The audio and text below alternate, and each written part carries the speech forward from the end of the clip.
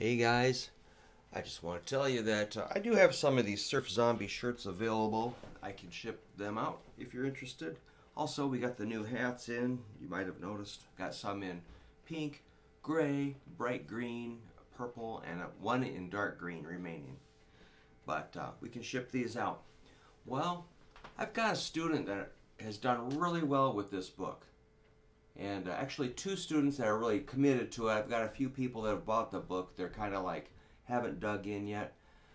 Having a system to follow is excellent. And what we do is we meet on uh, via Zoom, and uh, the student will show me their their week assignment.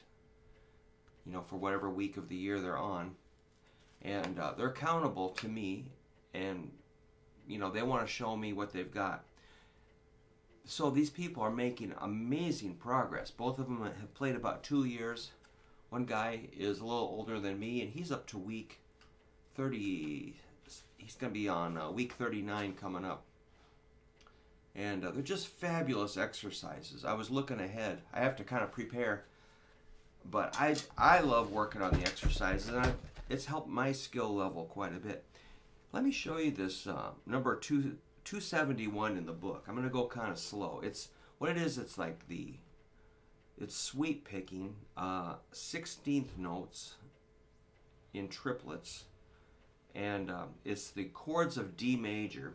Maybe I'll just play the, the chords kind of cowboy style. Like a D major 7, E minor 7, F sharp minor 7,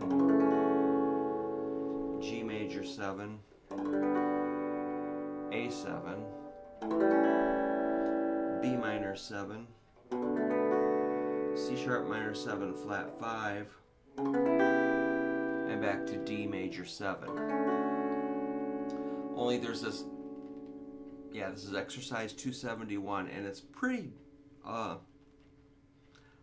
I really, I like to play kind of a slower tempo just to kind of absorb the sound and feel that stretch in my left hand. So I'm going to try this first shape. Oop, let me do it again. Then the E minor. The F sharp minor 7. The G major 7. The A7. The B minor 7. Sharp minor 7 flat 5 and the octave of the D major 7 and repeat.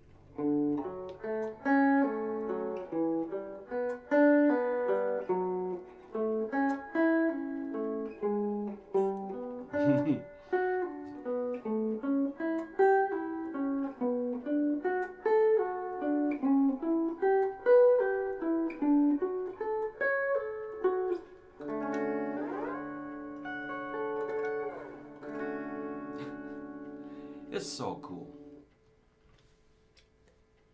You know, if you didn't have the system, you would be, you'd, you'd probably just be playing the same thing over and over or struggling.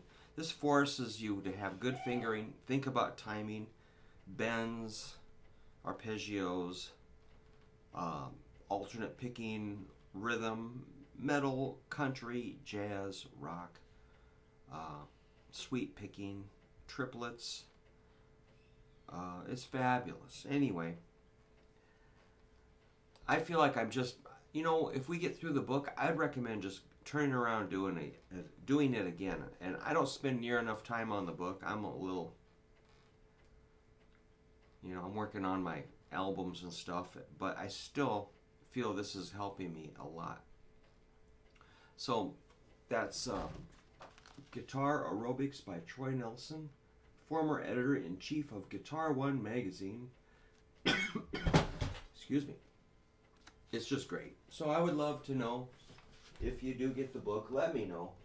And uh, we could do Zoom lessons and uh, I could hold you accountable for each week of practice.